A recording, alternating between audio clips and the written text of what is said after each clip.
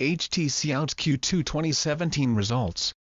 HTC reported operating losses of NT $2.2 billion, which got to NT $1.95 billion $64.3 million after taxes in Q2 2017.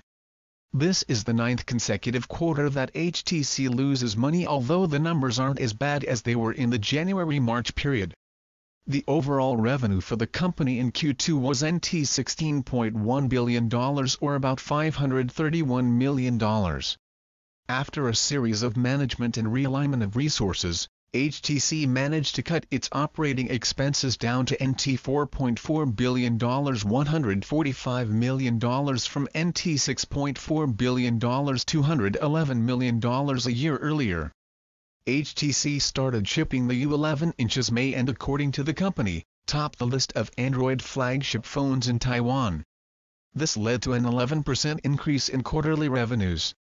It also lowered operating loss from $2.4 billion before taxes in Q1 2017. The company expects better financial results in Q3 2017 after the launch of the VR headset HTC Standalone.